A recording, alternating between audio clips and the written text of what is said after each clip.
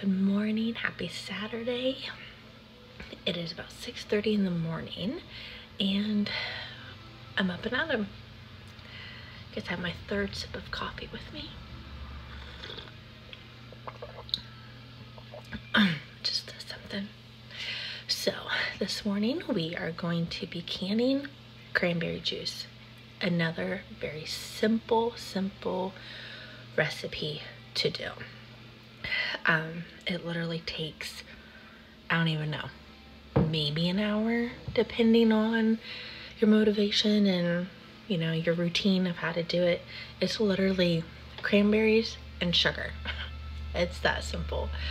Um, so, and it's a water bath method, so it's not canning, so it's a lot faster as well um, because you're just letting your jars in your water bath for 25 minutes on a boil. That's all you're doing. And it's that simple.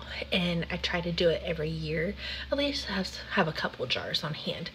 Um, since it is cranberry season right now, I bought my first two pound bag of cranberries at the store yesterday and um, I will just probably do a slow process of cranberry juice. I don't keep a lot on hand, but I do love it during the winter time. It's just so, it's so good. It's so much better than the store.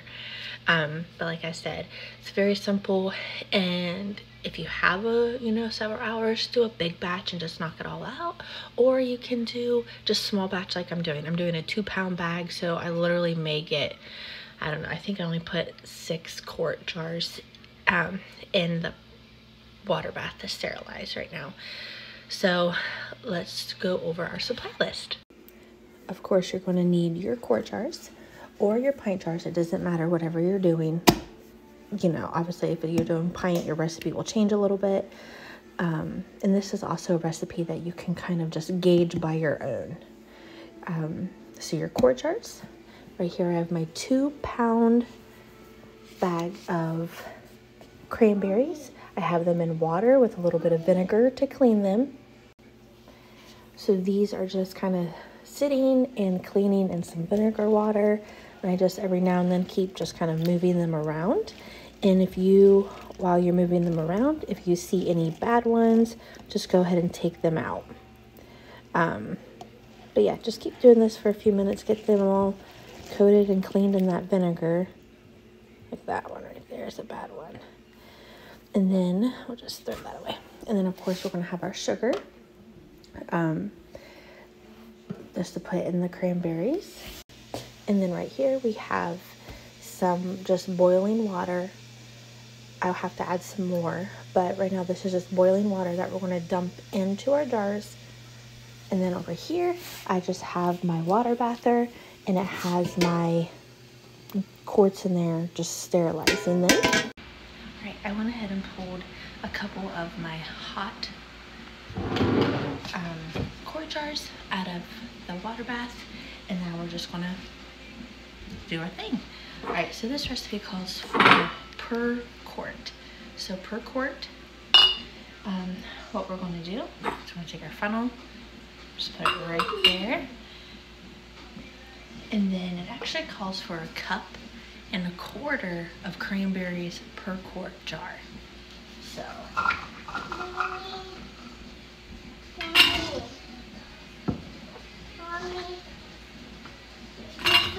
how we get the what? Sugar. So just like that. Sugar? Yep, now we're going to use sugar. So this recipe calls for half a cup of sugar. I don't put that much in my cranberry juice. I just maybe do a, a half of a half, you know, or just estimate what you want. Um, I don't like mine very sweet, but just enough to just give it a little bit of flavor. So I just might, you know, and you're just gonna pour that right over there, just like that.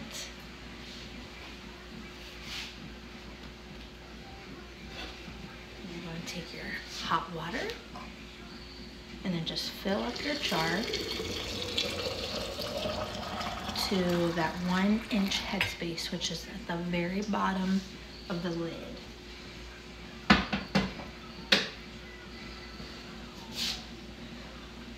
Here, I'll show you what it's gonna look like here. So right here is where I stop my water. So And then, we're just going to place, oops, no, sorry. We're gonna wipe our lid with a clean towel. Make sure there's no water, sugar, juice on that. And then we're just gonna put that right there. And then twist this on, just finger tight. Nothing too tight, nothing too crazy. Isn't that so pretty? Now we're just going to place all of our cranberry jars in our water bath.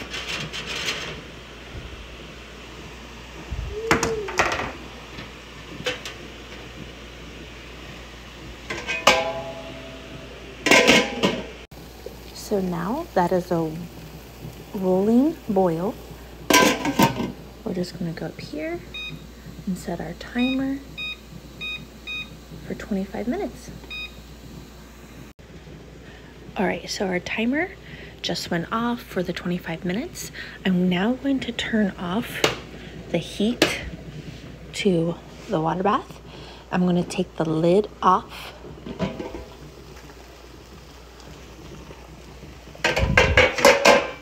And the reason why I'm going to take the lid off is so the temperature changes, cools down a little bit before I take out the cranberries.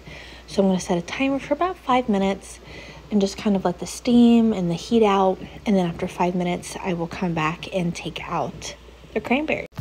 All right, so our five minute timer just went off and then we're going to pull out our cranberry juice.